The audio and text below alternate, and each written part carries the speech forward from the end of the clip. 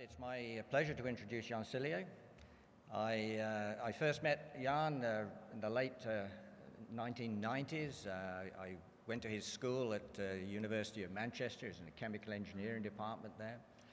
It used to be the University Manchester Institute of Science and Technology. Why they ever changed that, I don't know, but uh, UMIST always sort of rang off the tongue.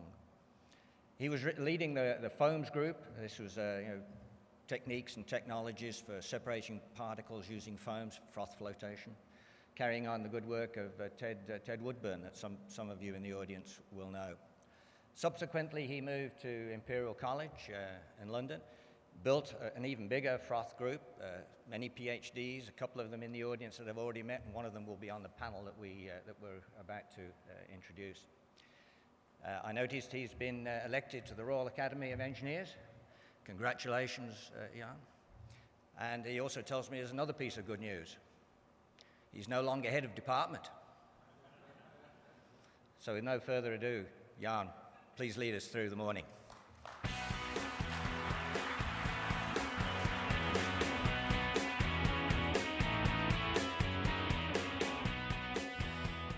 Uh, Jim, thanks very much. It's uh, a great honor, a great pleasure to be here in Canada. Um, I really am I'm very pleased to be here and to be leading this opening session. Um, as a, a, member of the IMPC Council, we've been cogitating a lot about whether we're serving our community, and that's really our role, is how do we serve the whole community. And when we looked around the room, we realized the age profile is not exactly, um, shall I say, covering the whole spectrum. So uh, I'm the youngest on the, on, the, on the council, which should be telling you something. I'm really worried about this and said, well, how do we best serve this? How do we get the young leaders, the upcoming leaders, to be involved in this? And how can we better serve this community? And to do this, for us to do that by ourselves is impossible. So we thought the best way to do that is to put together a panel and a group to help us in getting more people involved and for us to have a better role in this activity. So this forum is uh, the first move towards this. We have some other activities on the go, and that will be um, commented on during the course of the day.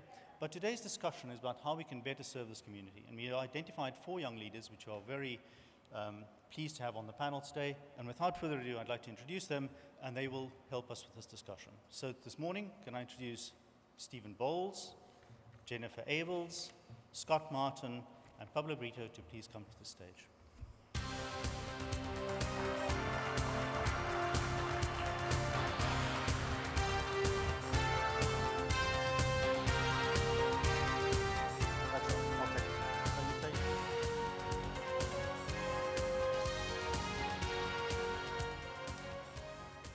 So I'll introduce them all um, because they're quite eminent. It's fantastic. So Steven Bowles, first, first of all here.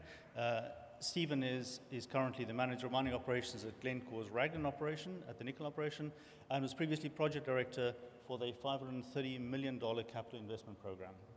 Uh, he holds an MBA and a BSc engineering degree, uh, and he's a recipient of the Bedford Canadian Young Mineral Leaders Award. Steven. And then Jennifer Abols. Um, Jennifer is a metallurgical engineer. She's got 19 years of experience all around the world. Uh, she's worked in Canada, Australia, the US, the UK, in project management, engineering commissioning, business, strategic development, all manner of roles. Um, she's past chairman of the Canadian Mineral Processors, and for the last four years, she's worked in the UK, um, in, the, in the London office in the UK. In January this year, she was awarded the Canadian Mineral Processors Mineral Processor of the Year Award. You're very welcome, Jennifer.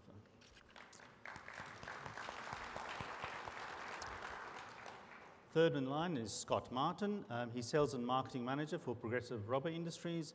Um, he's National Chairman of the Canadian Mineral Processors. Uh, and also a graduate of what he's going to talk about today, the Leading in Mining course of the CIM. I'm very excited about this course, and I'm looking forward to, to your presentation on that, Scott. Um, I also like the fact that he adds to his CV that he's an avid golfer and fisherman, so in spite of all this um, work, he also has time for catching halibut, and he has a, a fabulous photograph of a, a monster halibut, uh, if you want to talk to him about that. And then finally, Pablo Brito on the, on the far right, who's uh, part of my team at Imperial College. He's a research fellow um, there where he leads the froth flotation research team. Um, he was previously worked in the oil and gas sector as a chemical engineer. Then he moved to the UK, with, did his PhD with me, and is now leading a work package on flotation in a 10 million euro project called Proteas, uh, which focuses on processing dilute aqueous systems. He's also associate editor of Minerals Engineering and chairs the IMPC Emerging Leaders Working Group, which is the second activity after this panel discussion about including the young leaders. So I'd like to start then with Scott Martin, who's going to talk about our first topic, um, which will come up on the screen in a second. The first topic on the skills required for the next 20 years. Um, the second topic will be introduced by Jennifer on mentoring. There'll be leading in mining by Scott, and Pablo will finish with professional bodies and their impact. So after each speaker, we'll have a, a question and answer session specifically on that topic. And at the end of the four topics, um, there'll be a, an open session, and I'll be leading the question and answer. And I really would value your questions and your, um, to the panelists and to the, the, panel as a whole so that we can take notes on that and, and act on that in the future. So um, I welcome you to the stage, John.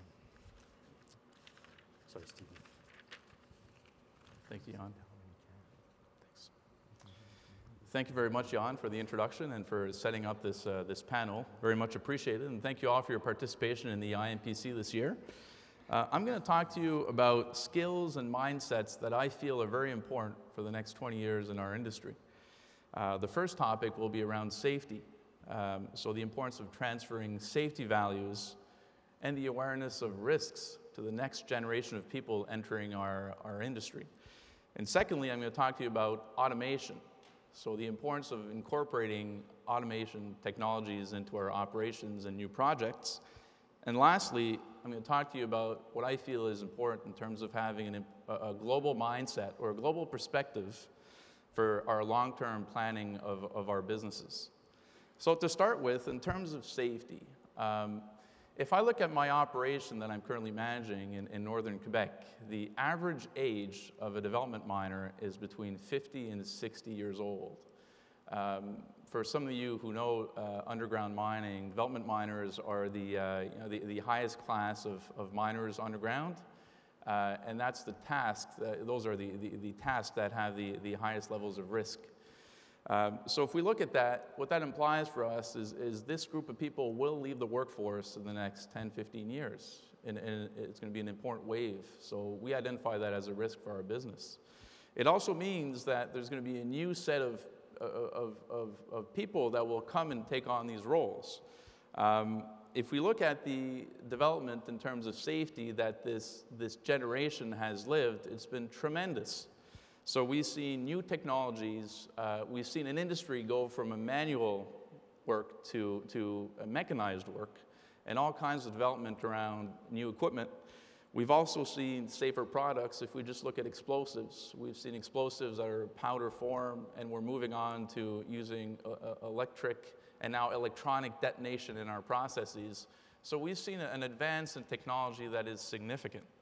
And also, if you look at risk management processes that we have in our businesses, I mean, the, the application of work cards, the requirement to have risk assessments prior to performing work, those are all excellent practices that have come into, uh, into, our, into our businesses.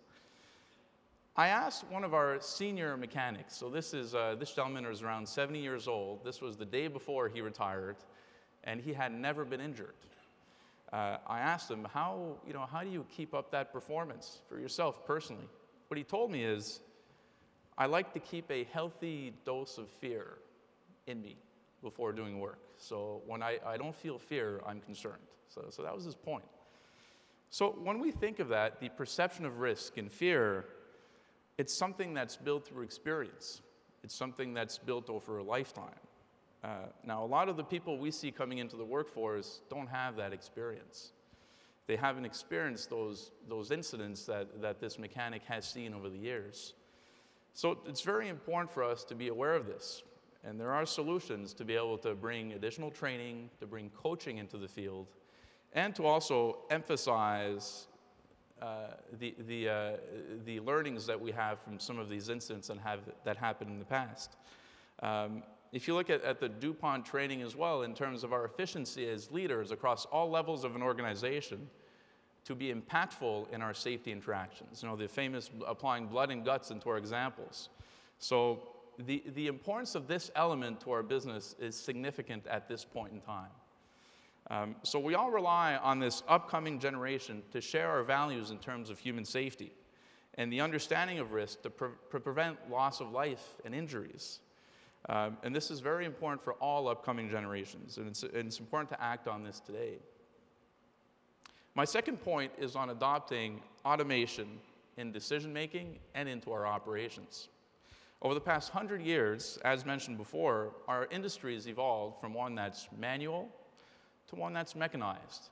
We've seen that in the auto industry that went from batch processes to a continuous supply chain, to a continuous operation with quite a bit of automation in the manufacturing process. We're living that right now in the mining industry. So we're seeing uh, new technologies come online that are bringing us into that automation curve. Um, so value is placed in our industry around removing safety risks from the workplace, reducing costs, and reducing our environmental footprint. So the goal of this is not necessarily to remove labor, but it's essentially to displace labor from line operation roles to roles in a control room that require a higher set of technical skills, like programming, planning, statistical analysis, so the use of big data. So that's something in terms of developing skill sets in our organizations that we need to focus on. If we look at equipment automation, there are great examples out there. So we see, uh, for example, in the Chelopech story, so the use of big data, so live data from the field, being implemented and incorporated into our planning processes for mining. That's a significant step. We all have a lot of data, and I could, I, if I look at my business, we're, we're having challenges to use that data to more effectively plan for the future. We also, I can make reference to a, a mining operation in Northern Ontario that's using automated scoop tram operations that are really controlled from consoles. I mean, that's a, an important step for us in the industry. So we're going in that direction. So why are not all companies jumping on the bandwagon? Well, firstly, a lot of this technology is in R&D stage, in early development, and it does have risk for implementation. So a lot of mining companies, particularly smaller mining companies that don't necessarily have the financial capacity to take on this risk, are waiting for that evolution to happen. Um, so we see important moves happening with larger mining companies, with equipment providers and, and engineering systems designers to actually bring in products that, that make sense to us. So there's the excellent example of Northwestern Australia in the, in the iron ore sector of, uh, of automating the supply chain system and, and the, the production and ore hauling system and all being controlled from, a, from an operations center in Perth. That's an excellent step in the right direction. Um, so the evolution is underway. Uh, and what I recommend is when it makes sense for your businesses, please contribute to automation. Uh, consider proven or uh, systems that, that, already exist that had went through that de-risking phase or trials. Uh, and particularly in new projects, it's very important to consider those options. Even though there's some risk, there are some options that have less risk and that have been developed uh, uh, more aggressively. And CIM is an important contributor to this process. So with the Global Mining Standards Group, there's emphasis placed in developing automation standards so as to make it more adaptable to our industry. My last point is on maintaining a global perspective in the industry. As we've seen over the past five years, we're uh, heavily influenced by external factors and external stakeholders in the industry. If we just look at, at price dynamics, whether it comes from demand side or supply side, elements, uh, there's a general view that long-term demand trends will be steadily upward, but on the supply side, we've seen significant capacity come online and put some pressure on price. And we also see some, some, some, some countries taking some positions that take some capacity, some capacity offline in the short term. All that's creating some sense of volatility as we're experiencing. Um, also political risk. If we look at capital projects, uh, I've experienced a project in Latin America that was over $5 billion. And, and we know that some, some political positions may mean that the operations and projects could be stalled for a while and then you know, start up again later. So when it comes to risk in our ind industry from a financial perspective, it's very important to have a sense for that and appreciation for it. I believe that our business grows through three mechanisms. Uh, one is improving existing operations. Um, secondly, is to build new capacity, whether through greenfield or brownfield projects, sometimes in very challenging environments. And lastly, the ability to buy and transform companies. If you look at those three elements of growth, they all require very unique skill sets and they have very unique challenges in themselves.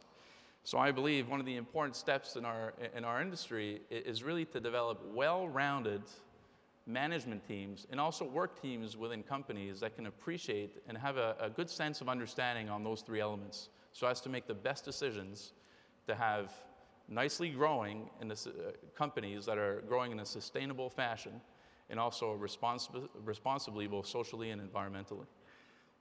So just to sum up, I feel in the next 20 years, it's important to transfer safety values to the next generation, to have a mindset of adopting and trying new technologies when it makes sense for our business, and also maintaining a global perspective in terms of making decisions for our companies going forward.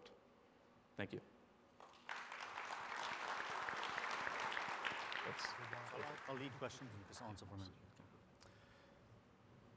Steven, thanks very much. I would be very happy to lead questions from the audience to Steven. You'll have to put up your hand. There's roaming microphones. Um, I also can't see very well from here, so please uh, wave frantically so I can see where you are.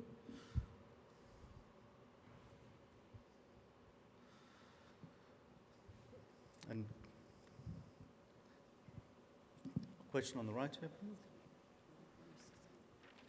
There's this.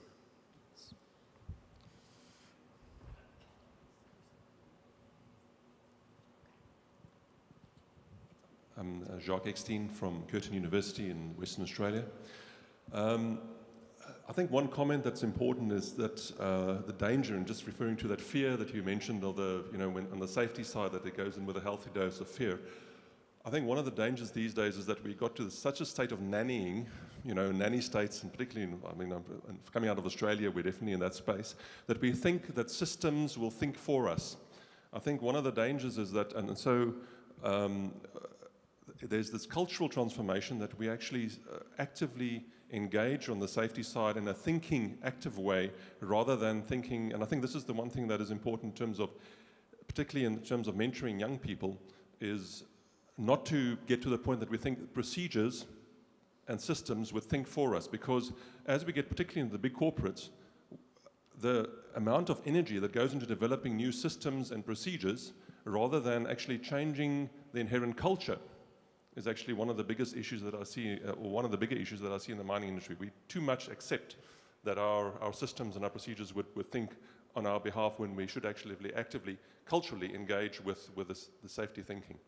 Maybe it's just a comment, but um, I think it's important because uh, we um, often allow that, you know, it's just like with young students very often these days in design software, they think the design, the outcome of the design software is the outcome rather than actually questioning it. And I think that same type of thinking should be applied to, to the, the, the system procedures that we actually develop in the mining and metallurgical industry.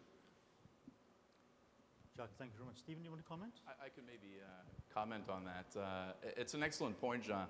Uh, I mean, we, uh, if I look at my operation up in, in northern Quebec, uh, we realized that we plateaued. Uh, and one of the challenges was precisely that is um, we, we found that, you know, by adopting new technology, applying new procedures, new systems, that we, we did improve, but not to the point of sustaining improvement. So what we see today is uh, it comes down to that. It's our, our ability as leaders, and you know every level in the organization. It started with our management team, uh, is really to step in uh, and um, emphasize our expectations. You know, and, and, put focus on those those risk elements that that people you know lose focus on. So, for example. Uh, you know, putting in place critical control audits. So having ourselves step in and have discussions around those controls that prevent people from from serious injuries. So those are things that if we don't do frequently enough, people forget. It kind of goes away. And, getting our people on board to also do that themselves and interact amongst each other. And we felt the best way to do that is for us as leaders is to get involved and to sustain that interaction and having a lot of impact in doing that. And it, it's really helped, and we see that when we, when we take our foot off the pedal, it, it starts to go away again. So it's, it's sustaining that level of human interaction and focusing on the right things with impact. And, and I think you're precisely bang on. It's, a, it's that human approach that's required. Systems won't do that for us. Steven, thanks very much. Thanks. Any, any second questions, perhaps? In the middle here, please.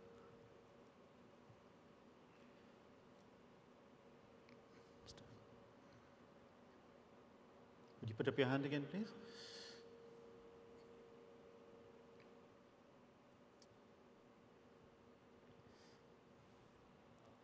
Varun Gore and uh, Barrick Gold, some excellent points there. In fact, uh, all the three areas that you mentioned, uh, health and safety, um, automation, and global outlook, they're really critical. Now, from uh, I think uh, echo with John, uh, John's uh, comment about the fear side. Is it fear or is it awareness? Can we heighten the awareness to make sure that you know safety incidents don't happen? Anyway, uh, the second aspect uh, I'd like to point out is automation is definitely something quite big on the list. But one thing about automation, uh, uh, I think we have to be very clear about is um, do we have the right insight before we get into automation? Because if you're trying to automate an efficient system, you magnify the efficiency, no doubt about that. But likewise, you know, if there's an inefficient system, you can actually magnify the inefficiencies. So uh, automation is definitely on the go, but that insight is really critical. That's why I really like the idea of having, you know, uh, uh, you know, universities, academics, uh, people who understands the issues very well, uh, get into the picture so that they can bring that insight, and then automation definitely uh, has um, huge opportunities. Do you want to make a quick comment on that? Sure, I can leave it for comment on that. Uh, on, on your point on fear and awareness, I agree with you. I think it, awareness is key. I mean, at some point, fear can be perceived as you know somewhat blinding. Uh, but I think the, the intent is for people to uh, become aware of risk via, via a certain thought process. And I, and I think that's the key thing. I think fear may be an element of what comes out of doing a risk evaluation and, and having proper judgment. Um, in terms of your point on automation, I agree. I think you know we have to go through those those steps of, of evolution and in, uh, in technology, uh, going from a, a, an initial R&D stage to a, a, growth stage, which will have issues, uh, and also to a maturity uh, stage, as we've been through when we went through a mechanized era. Um, and, and, I think, uh, like you say, but I, I, do believe though at some point uh, industry has to step in because some of these to, to, really get some economies of scale on some of these technologies. Uh, if you look at, we're looking at uh, automating or, or bringing in battery-powered uh, uh, haulage equipment. Um, the technology is built for small scale equipment for us, but not yet for the scale or the size that we need. So to be able to, to step up uh, with equipment manufacturers, we, you know, they want to shed some of that risk. So I, I think uh, at some point there's a certain amount of, of, of work we can do to de-risk at the R&D stage, but we need to test it out in our operations. And that's where we're not at the same level in terms of risk appetite or financial capacity to do so. Um, so I, I, think it's, it's a hand-in-hand -hand relationship to be able to get to that point. Uh, and we're seeing some good, good examples out there of doing that. So uh, I think it's a, it's a very excellent point that you brought up. Steven, thanks very much. I was very excited personally about your, your third comment about the global perspective, and I hope we can come back to that in the, in the general discussion later. Um, now I'd like to introduce uh, Jennifer Abols for our second topic. Um, and and she's going to be talking about mentoring.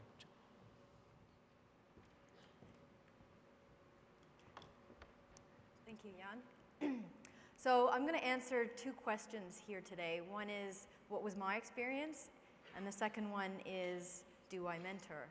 Um, so the first question, what was my experience? So I, I graduated quite a little while ago, um, and there was three key things that I think set me up for success when I was graduating out of university. And one was that I was enrolled in a co-op program. So I ended up working for four mines before I even graduated from school. The second was that I was involved with a very nice association called the Canadian Mineral Processors when I was a student. So when I graduated from university, I already had a very strong network um, in the industry. And the third thing was that I had very strong mentors when I first started out. So when I was in my, I guess, my final co-op work term, I had a really good boss. And when I graduated from university, my first role was working for Placer Dome, and he was my boss. And this particular person set up a very, I would say, uh, structured program for me as a young person coming into the industry. And before I could even start working as an engineer, I had to work in every single department in the mine then I had to work on operations, on shift with the operators, and then I had to rewrite all of the operational manuals for the mine. So before I even started working on projects and working in the mill, I had a very, very strong foundation um, about the mine itself. So I thought that that was a very powerful lesson as a young person. And it, it really made a big impact on me as I went forward in my career. Um, and over the years, I've worked all over the world. I've worked in many, many different roles. I've had some really great bosses and I've had some really crappy bosses. But what I do find is that there, there are some key characteristics that really define what a good mentor is.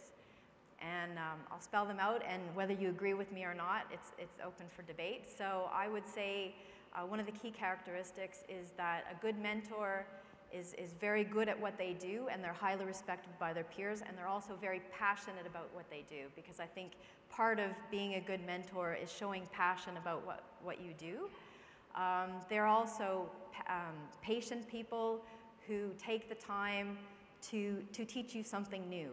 Um, and they're also willing to give you the time to try something new and mess it up. If I, for me personally, um, I learn better if I actually mess something up the first time, learn what I did wrong, go back and do it right the second time. So that brings me to the next key uh, element to a good mentor is, is that they do take that time, they give you constructive criticism, they let you go back and do it again, so you've learned what you've done wrong. Um, and then this, this, this is the one that maybe might be open to debate. Uh, I would say a good mentor is someone who has your back. Uh, when, you, when you first get into the industry, you may have a good technical background, but you don't necessarily know how to navigate, uh, you know, politics, uh, you know, other people in a company. And, and I would say that a very a strong mentor is somebody who has your back and they look out for you and they teach you how to navigate those, those political elements um, of, of a workplace or a mine because uh, I think your success as an individual has a lot to do with how you actually um, control your environment and how you work with other people. Um, so that's, that's basically how it worked for me. Um, I've, I've I had that first really good mentor, and then over the years, um, several other people who have really taught me a lot about how to be a good engineer, but also a, a good boss as well. So do I mentor? Of course I do. I think, I think everyone amongst us has mentored at some stage in their life. Um, whether you're a good mentor or a bad men mentor, that's up to you to decide. But um, I, I, actually really enjoy mentoring. I take every opportunity I can to teach a new person um, as Steven was saying, I mean, safety is one element where I think we, there's a lot we can do as, as leaders in the industry to, to lead by example and show people, so they don't, they're not ticking a box, but they're actually learning the right way to do something and, and they're, they're thinking about it. So um, I guess I've been involved with programs for mentoring and then very informal mentoring. And, and it doesn't matter how you do it. I think it, the key aspects are to, to share your knowledge and to, to inspire that next generation so that they become leaders in, in our industry. Um, I'll just, I guess, give you an example. Um, when I was working at the Eagle Mine, um, doing the commissioning, I had a young mechanical engineer working for me who had never worked in a mine. He'd never worked in an industrial setting, had absolutely no idea what he was going to do with his life. And he came and he worked for us for a year and a half um, as my assistant uh, commissioning manager. And at the end of the job, he, he had it all figured out. He knew exactly what he wanted to do, and he's gone on and he's become an excellent commissioning engineer um, working in an industrial setting. So you can't assume people know what they want to do and that they have figured out. Um, you have a role to play in leading them along. Uh, another example is uh, working for Lundin. We're very fortunate in that um, the company really supports young people coming into the industry. So whether or not things are going well, metal prices are high, we make sure that we have a steady stream of interns and graduates coming into um, our corporate offices and our mines.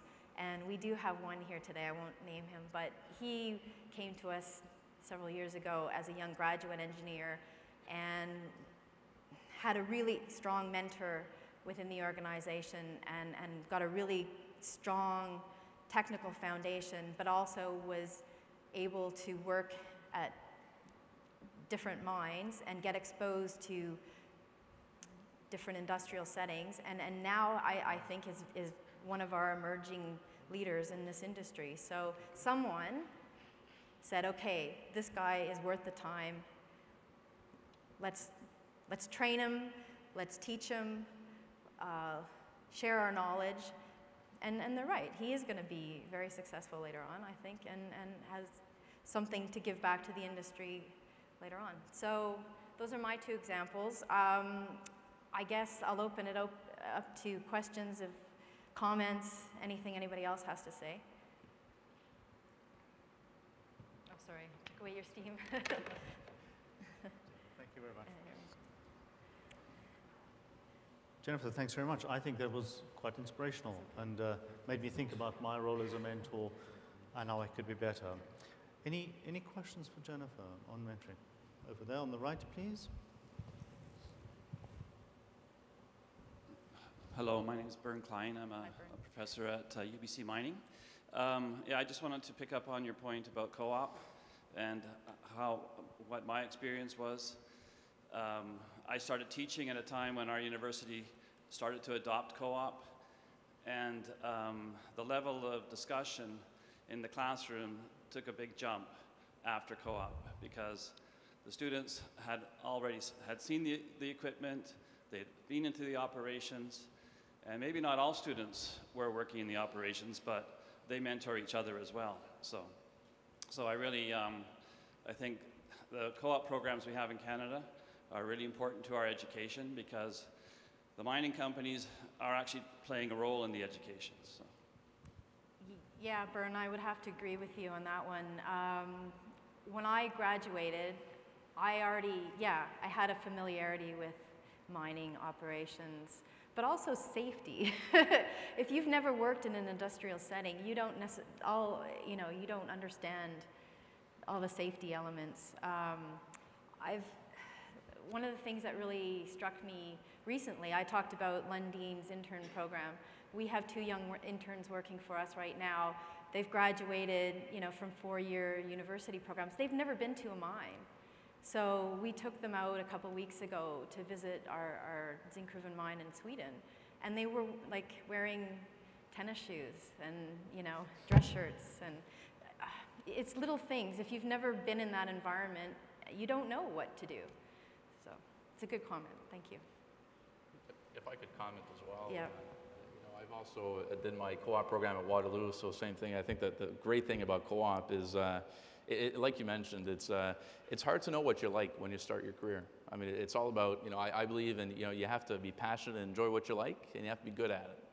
Uh, and it's hard to know what you're passionate and enjoy without actually living it. So uh, co-op does that. You know, it gives you five or six work terms. Or you can go into public sector, private sector, industry, serve all kinds of, of, of, angles, and, and you come out winning. I think uh, precisely because of that. So I think it's uh, it's an excellent uh, angle to, to planning a career.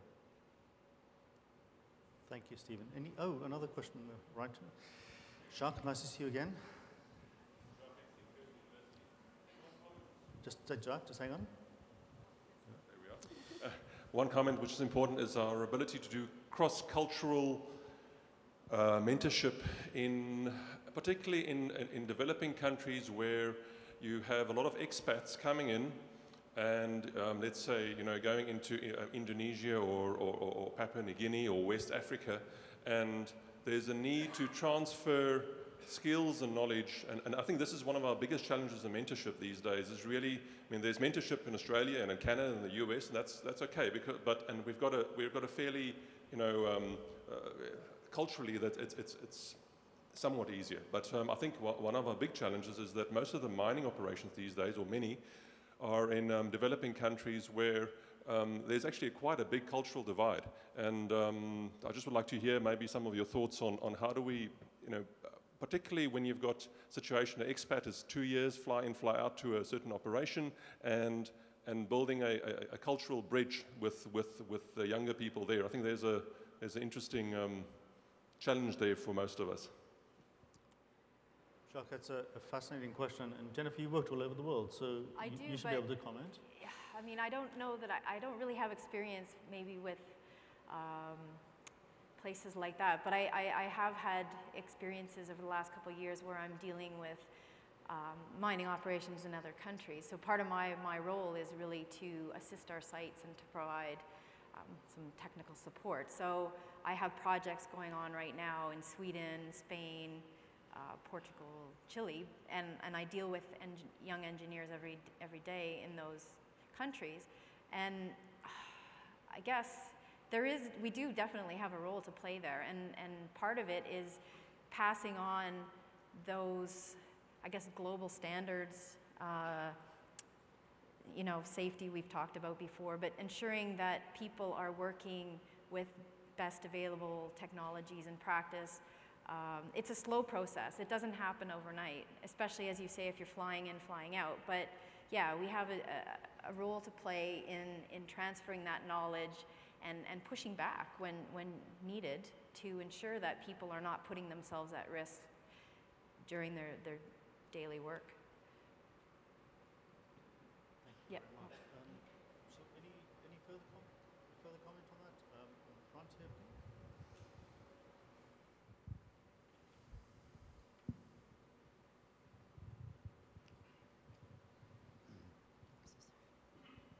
Uh, very good topic. Uh, Corby Anderson, Colorado School of Mines. Jennifer, I obviously graduated well before you did, but uh, I think mentoring is important. But I would offer this um, we have a demographic problem in our profession, and um, the mentoring is important, but the ability to mentor is going to be difficult, and that is you have ascended in your profession to a level where your um, um, ability to interact at all times with the young engineers like you had or I had is limited. The other thing is, we talk about health and safety and things like that. Young engineers are going into industry and they're ascending quite rapidly. And you mentioned, and I tell my own students this, it's important to be able to make mistakes and learn. I see an issue in our industry in that the senior people are going to be spread thin for mentoring, and young people are going to be put in positions of responsibility they aren't quite ready for. And I say this my son's in the profession. He and his colleagues are starting up the Haile Gold Mine in South Carolina. The on the ground staff, they're all 30 years old or less. So, uh, how do we address this demographic issue with the time and demands on those of us old enough still in the profession? I think that's, I think that's a pressing issue. Thank you. Do you All I can do is agree. Um, I think it is a problem. I do see at our, at our mine sites, you have an aging population. Um, a lot of the older, more experienced people are leaving. You have a lot of young people coming in. When I was working in Australia, it was very apparent uh, in the boom times that, yeah, you had a lot of young, young, young people in leadership positions without you know, that senior staff, experienced people to really guide them. Um, and, and you could see um, where they, they depended a lot actually on, on consultants and, and vendors to try to sort of backstop that lack of experience.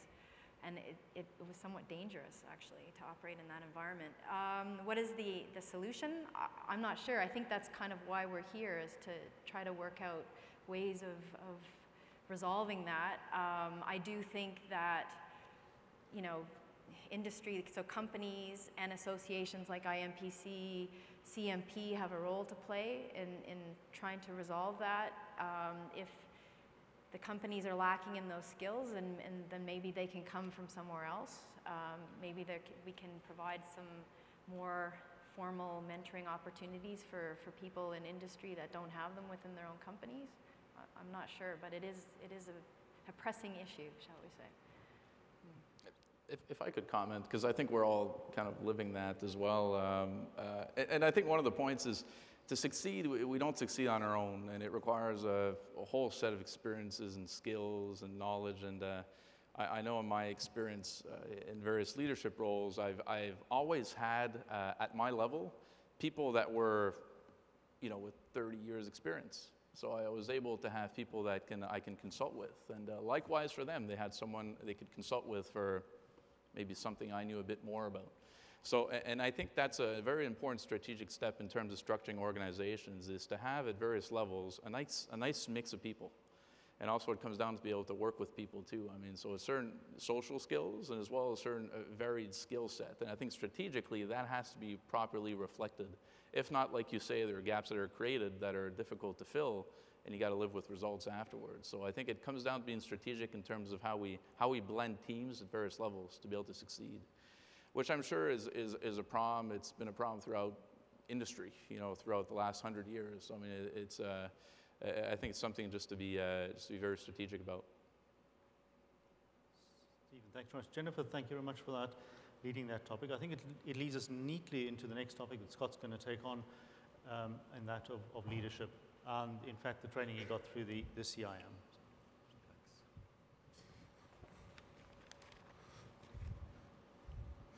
Yeah, that was actually a very good question. I was kind of holding back not answering it, but one of the things I'm going to sort of challenge the room is what if we did create a culture where failure was actually okay?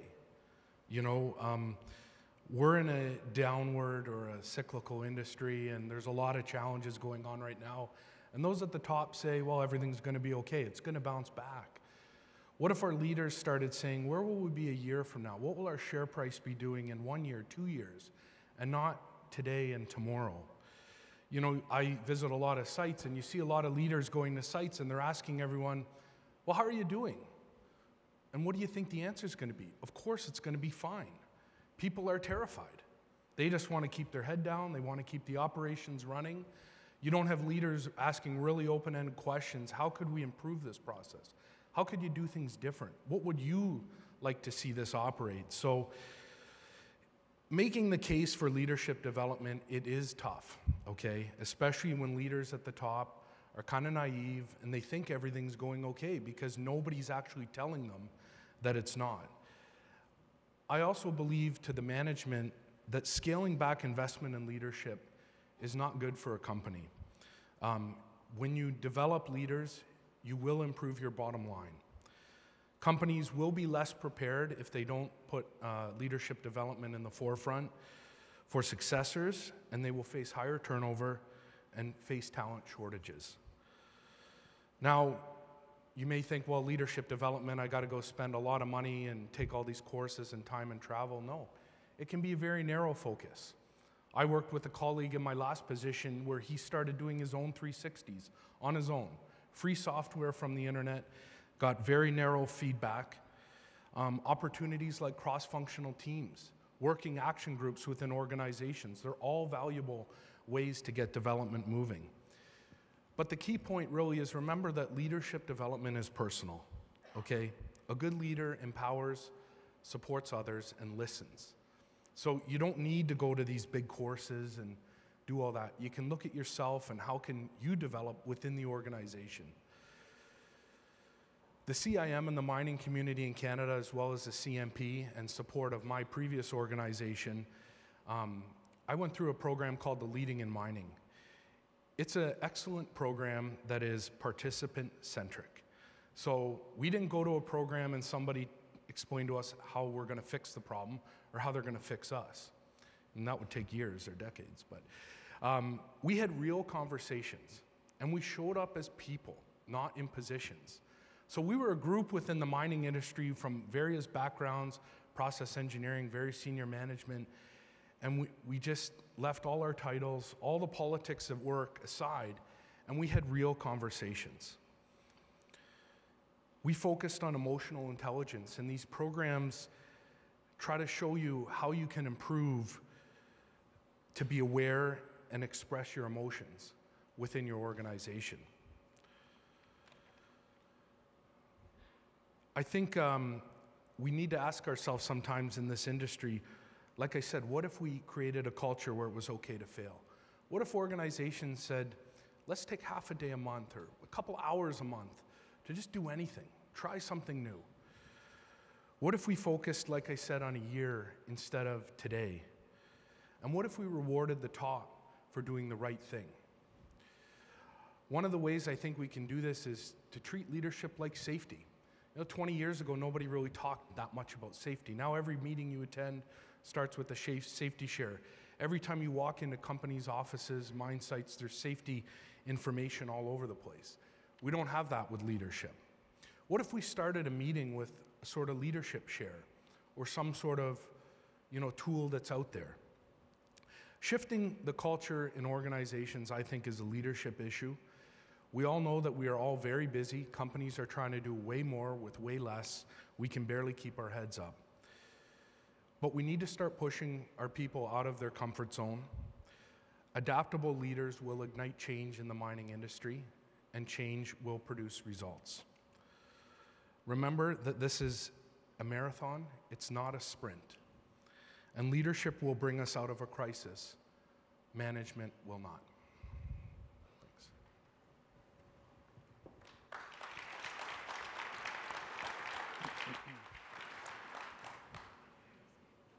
Well, I'm sure that will lead to some questions. Or not. Scott, can I, um, can I ask something about this? You, you mentioned this question of safety and said, I mean, I really, I was struck by that. You said it's a personal thing, but then also that it is, it's a, that this, we need the same culture and leadership as we have for safety. Could you expand on that? Because I think it's a, a really striking point. Yeah, I, what I'm getting at is if you think back 20 years ago, you know, people didn't talk about safety how they did today. And what if we put the same emphasis on leadership? Not replacing safety in any way, but you know, you, you start meetings, you have leadership or development posters and programs, you know, um, within companies' websites, you have leadership profiles or, you know, development tools. We have environmental health and safety sites. Just kind of exposing um, the tools that are out there. You know, with the Leading in Mining program, I didn't really know anything about the program. I didn't know anything about the tools that the CIM has.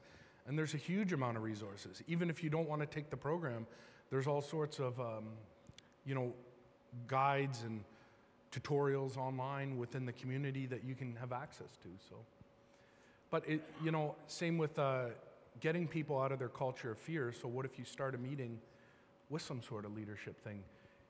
We did it at our last CIM board meeting or CMP board meeting, pardon me, in Ottawa. We had a leadership workshop.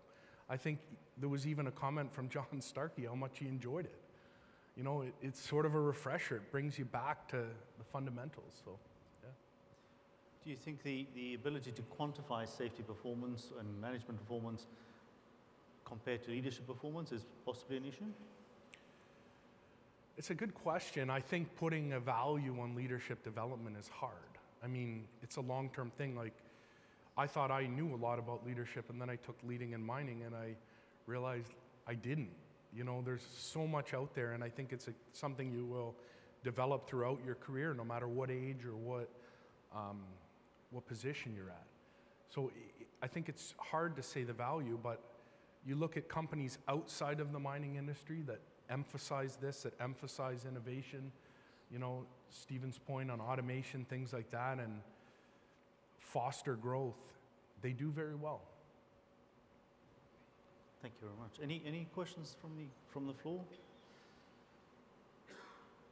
Otherwise, Jennifer, could I ask you if you could comment on that? Because I think the link between leadership and mentoring is very strong, and you, um, you alluded to it and Scott linked to it, but I was wondering if you'd like to comment on that.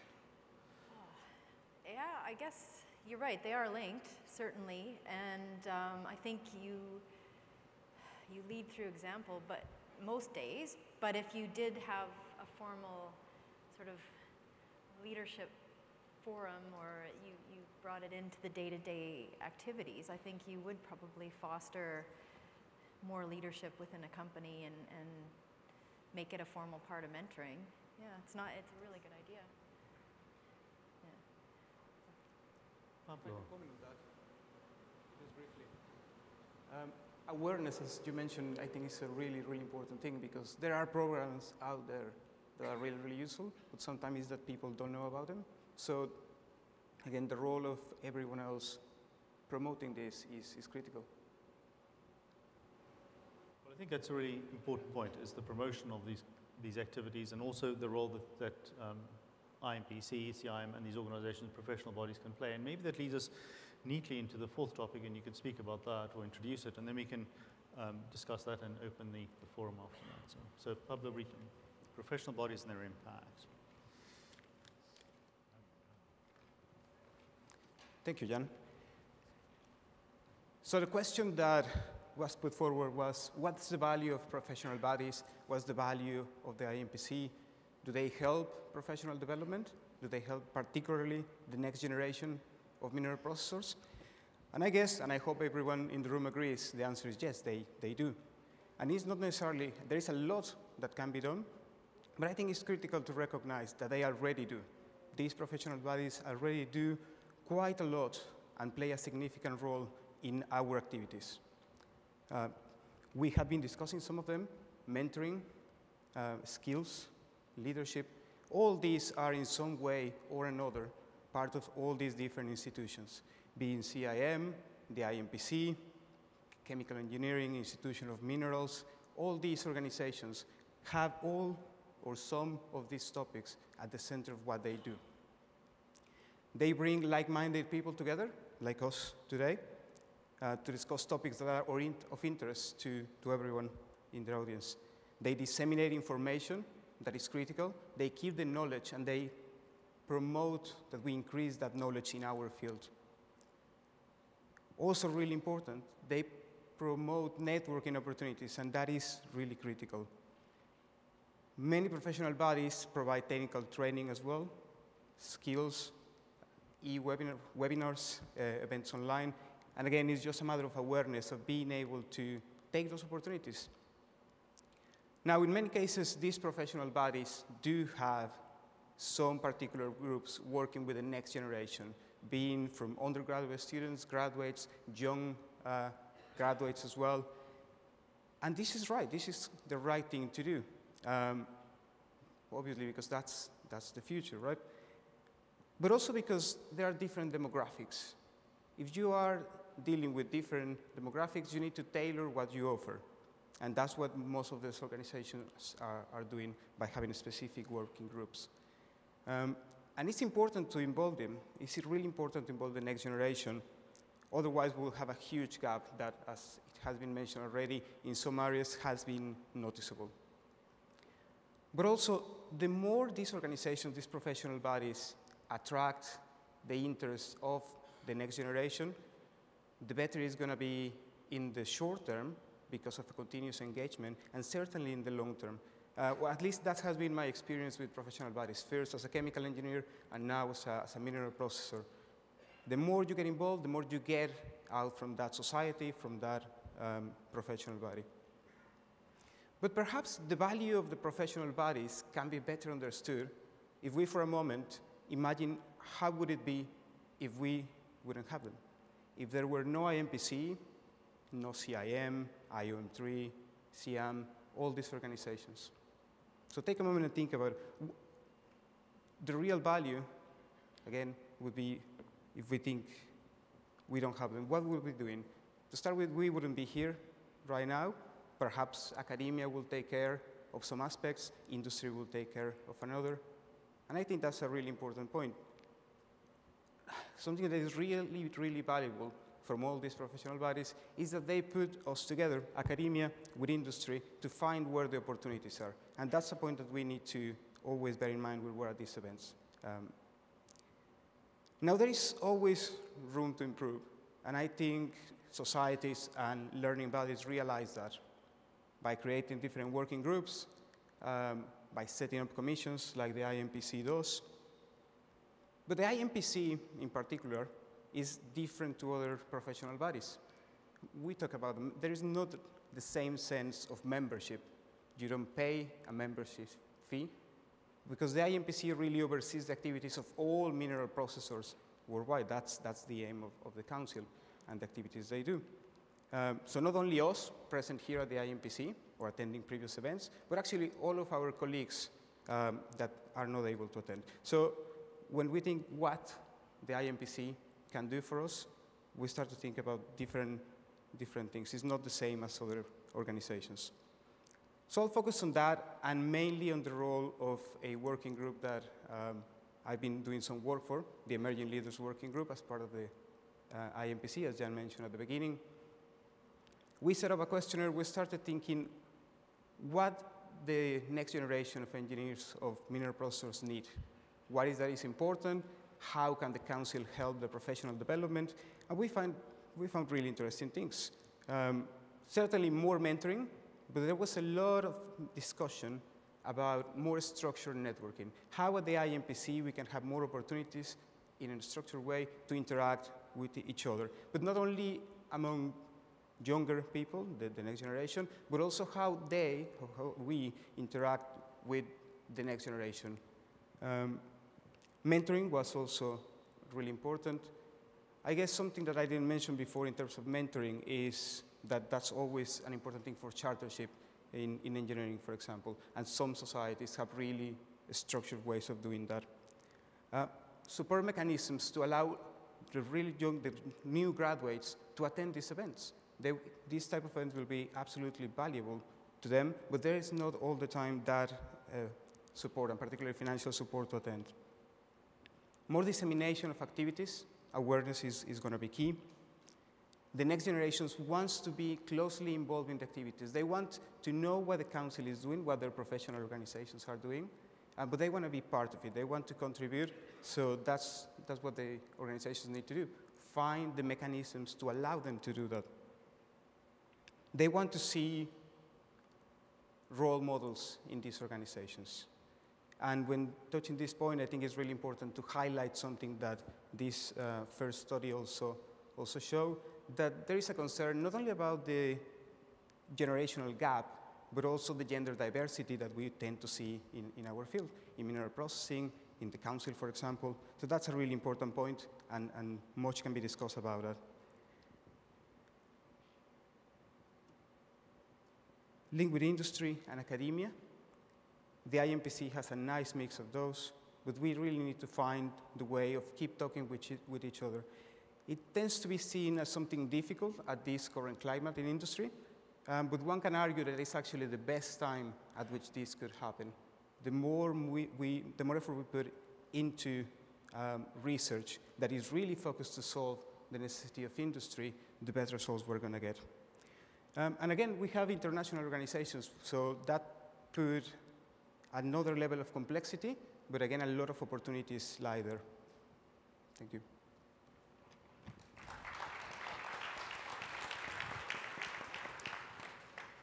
Pablo, thanks very much. Any questions specifically on that topic on professional bodies and their impact and how we get professional bodies to specifically address the concerns and the needs of our, our young leaders?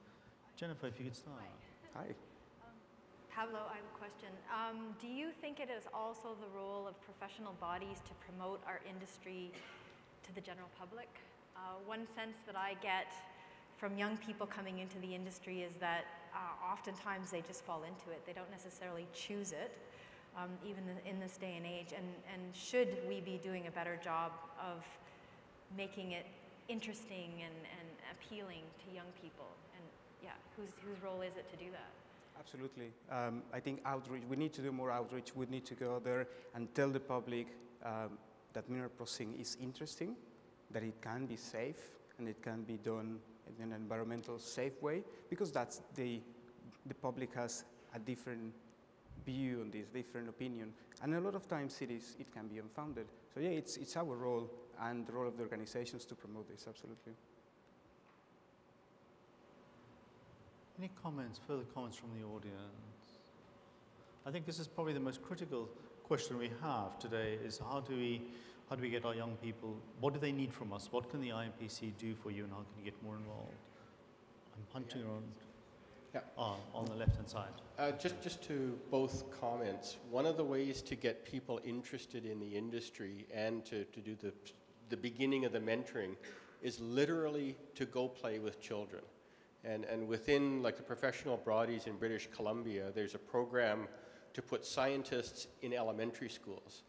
And, and I volunteered to go do literally gold panning with kindergarten children. And that gets people interested in mining. If you've ever seen a, a four-year-old girl with a, a, a, gold pan, well, actually, it's like a, little royal Chinette uh, um, bowl from, from some camping store, panning for gold, it's immediately understood by these children when they see the yellow stuff. You don't have to go any further than that.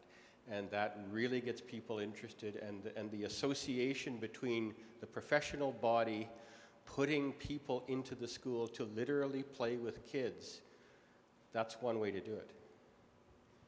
That's a, a very interesting comment. Any, do you want to comment? No, certainly. I mean, the Panning for Gold is an excellent example. Uh, when we do outreach for all different ages, we try to have things that people at different stages can relate to. We have done puzzles that represent the structure of foams. We have flowing foams and flotation in a bucket. Those kind of things are, are really, really valuable so they can relate it to where all the, the metals that they use come from. Yeah. Thanks, Pablo. Could I ask a question? On the right-hand side here, please. And I'll come to Here. you. I'll come to you in the middle in a second. Sir, Center. Center first? Yeah. here, could I ask a question? Thank you. Yeah. I come from China and uh, uh, I just got a master degree in the Central South of, Ch- of Ch- uh, Central South of University last year, and now I work in a, a company. Uh, his name is Shenghe Resources, and we have a course on the rare earth development. And also, uh, thank you for your speech. And uh, I learned a lot from the IMPC, but uh, but you know, it will cost a lot of money for people to come from here, especially it was here in Canada. So uh, I think the technology is very important to improve the mineral processing. And uh, I think could we just uh, develop some apps, just like, the, do you know, the internet is very convenient to all of the people. So the the people in China or in other country, they don't have the opportunity to come to here, and they also can get in the information from the conference. So if we can develop an app and we can download on the mobile phone, we can get connected with us and uh, for free. I think it will do much better to improve our mineral processing. Yes. My question is that. Thank you. I believe that would be an, an excellent initiative. That's something that has been discussed in, in the working group as well. Um, open access to, to, to all things that professionals body do um, as, as feasible as it is possible. Certainly for the keynotes, for the panels, um, for the special presentations of people that get uh, awards, for example, that can be available to, to everyone, to those that cannot, that cannot attend. Um, and the same goes to the technical content that we present during the conference, uh, whether everyone should be able to access it to actually maximize the, the benefit of these events. Thanks, Pablo. That's a very interesting point as well, because we are, uh, the, the proceedings are distributed through OneMine, so there is an archive of all the IMPC conferences for all the years they've been held. So there is, a, there is an open access to this, but if we want it live, that's a very interesting way of looking at attending the conference from an international um, without being here physically. And I think the way social media is going and the internet is, the speed is improving, that certainly becomes a possible, um, a possible thing to look at in the future. There was many comments in the, in the middle here. Hi, uh, Sammy Peters from Barrick Pueblo Viejo. Uh, just a couple comments, I guess, for each of the speakers. Uh, on that note, I think it's pretty interesting with the European Union mentioning about uh, whether it was papers or research papers to be offered for free. Shouldn't charge for that, so it would make the wealth of information uh, a lot freer and more available for people. Uh, don't have to be members or subscribe to each journal. And oftentimes, once you're no longer a student, uh, you lose a lot of those subscriptions and the availability to them. Um, but with regard to a few of the other points, uh, about the ability to fail, I think if we're just aiming to make minor improvements, uh, you might not be so worried about failing all the time, but if as an industry we really want to make some transformational changes, uh, you really do need that ability to fail. So if you look at probably a lot of the companies in the world now, or technology ones making the money or valuations, probably worth a lot more than the companies in the room right now. Uh, they're based on entrepreneurial spirit and the ability to fail. Uh, Google used to allow 20% of their time to be spent on whatever activity they wanted uh, with the idea it was going to pay back. So for those big changes, you really got to be allowed, uh, I guess, the freedom to think, dream, and then once you have that idea, you challenge the engineers to make that possible. Um, with regard to mentoring, yeah, I think it's pretty crucial, and I think if we even just treat the people really as a risk as well, uh, each company is going to face a infrastructure systemic risk in terms of the people actually working there because once everyone retires and moves on, you need to have that next wave of people actually able to take over and make responsible and the right decisions. So if we don't mentor, uh, it might not be today or tomorrow or next year, but in five years or 10 years, then what do we do? Um, and so I think one of the questions was in developing countries, how do we do that? Um, being in a developing country now, I think it really does uh, have to be set out as a goal, though, that it's not just always about production and right now and keeping going, but you really do have to have that framework for development and mentoring going on. Otherwise, you can get lost at times just in the day to day operation. And yeah, something will suffer at that. And with regards to automation, uh, being a super proponent of process control and expert systems and all that, uh, I think the only thing to make sure or to be wary of is when you have all those systems in place, uh, you can allow operations not to think. And so what it is, is I think as the engineers and whatnot, you've still got to question whether the expert systems are right, whether they're tuning, is there things to change? And if you flick the system off, can the operator still make the right decisions? Because you end up relying on instrumentation and things that might fail, and you still got to go back to automatic or manual modes, and the people still have to be able to make the right decisions. So, as Thank well as much. Thanks very much. So that's a great point and brings us back to, to the very beginning. And so I'm, I'm, if you want to comment on that. Absolutely. Uh, thanks. Uh, thank you, Sam, for, uh, for, your, for your questions. Uh, I think I'll comment on two points because you've got so many good ones there. I mean, I'll pick uh, two that I, I can relate to. Uh, one is, is you're right around uh, risk of investment in technology. I think, you know, as you know, we have to look at it from a, f- from a financial perspective. Essentially, it's a risk reward. Uh, early stage R&D, I mean, out of 10 initiatives, you can expect maybe eight to fail. So, but those two will be winners. Uh, so I think you know companies that have that in their strategy or uh, that technology is, a, is, a, is an essential uh, piece of their strategy to succeed, I think you, you have to take that angle and you have to finance that.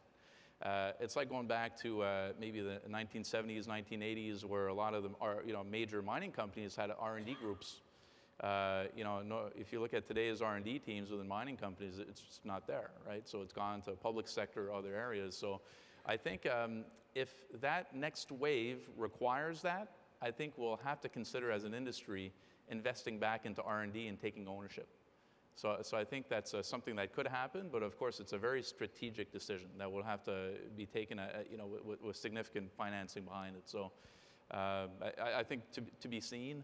Uh, to your point on, on, on um, managing uh, different cultures to achieve success, I mean, my, my first job was as a field engineer in Qatar. So, you know, in, in that uh, part of the world, you, the labor pool is Southeast Asian and, you know, Filipino, uh, um, Nepal, India, um, and essentially uh, you're bang on. And the objective from a, you know, from a managerial perspective is to achieve success, whether it's from safety or construction, reaching construction objectives or production. Uh, I think that's, uh, in my view, that's when you get, that's when you test your, your young leaders. I think you have to have strong people in the field to support, but you can bring in a pool of young leaders. And I think one of the, the, the key success, success factors is it's that, that kind of EQ element, that ability to size up people's behaviors, to see how they make decisions. You know, so and, and it, I found in, in the Indian culture, it's a collective approach. So you, you can't just tackle the, the line and expect everything to follow. You have to be able to work with a collective team Whereas my experience with the Fili- Filipino crews is you could work through the line more effectively. So you have to have that sensibility, right, to be, to be successful in those international environments to deliver. Um, so I think part of, the, part of the exercise is having the right set of skills or experience to support that process and then testing the young leaders. Uh, and, and, being somewhat flexible in terms of some of the success and failures, as, as you've mentioned before. Uh, but it's achievable, but requires field experience and it requires people to be thrown somewhat into the, uh, into the pit to, to try it out. Um, so, you know, that, that's my point of view when it comes to that, and I think very enriching and very worthwhile for young professionals to try out. Thank you, Steve. I'd like to take a question from the right here, if I, you've been patiently waiting. Hello, uh, my name is Rajiv Chada. I'm uh, working with the National Research Council IRAP program. Uh, I worked in the mining sector for almost six years, and I was brought in from automotive sector. And before that, I worked in chemical industry. So I looked into several industrial sectors. And uh, for today's uh, leaders and presenters, uh, we talked about safety, we talked about mentorship, we talked about uh, uh, leadership, and also the institutions. Now, if we look into the overall perspective, uh, different industries, they work in their, in their continuous system redesign. And uh, uh, with the mining sector, the issue was it was remote industry, very scattered setting, no centralization, no common thoughts.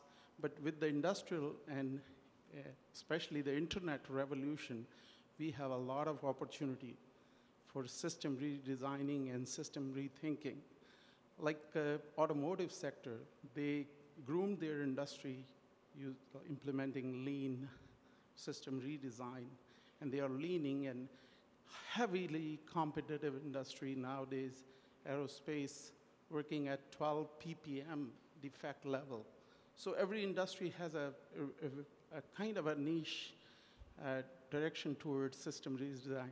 My question is uh, to the honorable panel, what are your thoughts about the system redesign and continuous improvement or continual system design about the mining sector?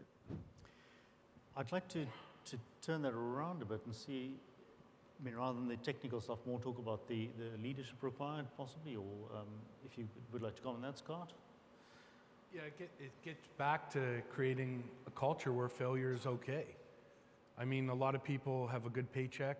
They don't want to upset anyone. There's this fear within organizations. And how do you innovate? You know, do we still size flotation cells on retention time? Or are we looking at things like froth transport distances, lip loading, other things? So it, it will get there. The resources are more available, but I think there's still sort of a barrier. And, you know, I visited a site in Nevada a while ago, and they're actually writing people up if things deviate a certain way. Whereas there's a lot of really good ideas. You know, what if they operated things differently? So I think we have to get past that barrier. And like that gentleman's comment is to the young people in the room, don't, you can start developing and changing it on your own. Yeah, you have to follow the rules and procedures. You can't just go out like a wild man, but you know, development in that is a personal thing. So start with yourself. You know, don't wait for these organizations to, to take the lead because not a lot of them will. Jennifer, that. Well. This is a really good question because I'm, I'm, I work in projects, and what I see is, you know, there's a set way for most companies to do things, and you have to prove ahead of time that the project that you're embarking on is going to make money. So it needs to have a positive NPV and you have to prove afterwards that it has been successful. So it, it does, in some ways, it doesn't really foster innovation. So if you're optimizing something, you're going to do it in a way that you know is going to work, um, rightly or wrongly. Um, but I think, you know, having some systems in place, maybe R&D departments where you do allow a team to, to muck around and fail to try to reach for some of those, those bigger improvements is, is a good idea. But it, it's just not the way our industry is set up right now, unfortunately. Yeah. Oh, I. Maybe I if I can comment. uh, want to- yeah, like, you know, essentially, you got to look at mining different than you look at auto sector. I think there's two points. One is competition and profit margin. So in, in auto sector, you're dealing with, which, with you know, I, I guess steady thin margins, uh, if you could put it that way. Mining will deal with very large margins and then significant risk on the downside because of high, fisc, high fixed costs. So you, be, you know, the, the ultimate uh, challenge is to behave like a thin margin producer when margins are thick uh, and, and understanding you come back to that lower mode. So that's very challenging for management teams. So that's an element that's different in the business model. The other one is go back to Goldratt's principles. You know, you have inventory, throughput time, and uh, variability. So if you look at uh, every operation is very different, but uh, what we're experiencing in northern Quebec is very high variability operations. So try to bring in uh, just-in-time type of, of systems is, is, uh, is not necessarily that applicable. So it needs some more thinking around that, and I think I'd challenge industry to find some solutions for us because there, there's something good to develop there. Steve, that's, that's a great way to end, I think. And I'd, I'd like to just have a, uh, well, last comment from the side. Is this on? Yeah. I have to disclose, uh, I took the Leading in Mining program. I was on the same cohort that uh, uh, Scott Martin was in. Uh, Two things is I think I'd like to- us to get out, and CIM as an organization would partner, how do we find our space? Uh, We mentioned failure, but I think that giving ourselves safe spaces where we can be vulnerable, ask for help, and feel secure, which is, I think, what our group programs are giving us. And on the innovation side, what is really big is how do we give ourselves mechanisms so we can allow our sector to experiment and try things uh, with failure. So that is, uh, I think, one of the big ones. This is not easily part of our culture, but as a group, and that's where association can make a difference. So reflecting on that and giving us at CIM, SME, IOM3 feedback. The, the other point is I'd like maybe you to reflect and think on the nature of volunteering. I, I know, I think Jennifer, Scott, and me, i- it's done fantastic things for me within CIM. How do we, uh, what do we need from corporation, employers, uh, uh, to support volunteering, and how do we provide space for younger people? Because uh, uh, putting, coming together as a group within CMP or maintenance engineering, uh, i- it's mentoring and coaching, uh, not one-on-one, but even beyond. So I, I think giving ourselves stronger support networks. So if you have a final chance to reflect on both of those, uh, creating spaces to experiment and the volunteering group nature. Thanks. I'm afraid I think we have to actually call it to a close there. Um, we've run out of time, but fascinating and fabulous conversation. I'd like to, to also just indicate how amazed I was at the links between the four speakers, how the same story kept coming up about um, success coming through failure, mentoring, leadership, um, and, and the automation really actually led us into safety and into that. So I, I really thank you all. The role that IMPC can play, we'll hear, we'll hear more about. So I'd like to put your hands together for our panelists. I think they've done a superb job. I'd like to thank you all for attending so early in the morning. I'd like to thank our audience for the fantastic, um, fantastic questions. So we look forward to the next time.